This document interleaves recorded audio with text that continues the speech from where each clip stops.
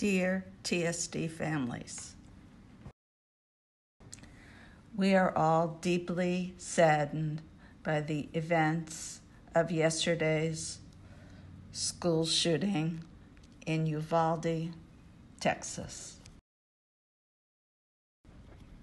For many of us, this feels like our backyard neighbors. And we feel the incredible pain of the families, of the students and staff that did not survive this senseless tragedy.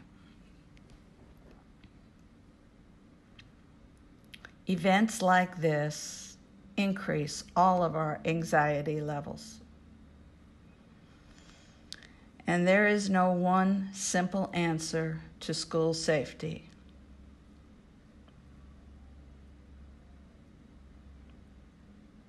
We all have to work together as a team to address it in a variety of ways.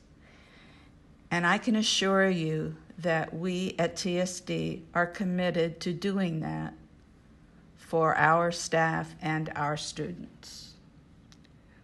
We also recognize that it is important for students to have trusted adults for support. We have counselors, classroom teachers, dorm staff, and others that are here to provide support as needed for your children.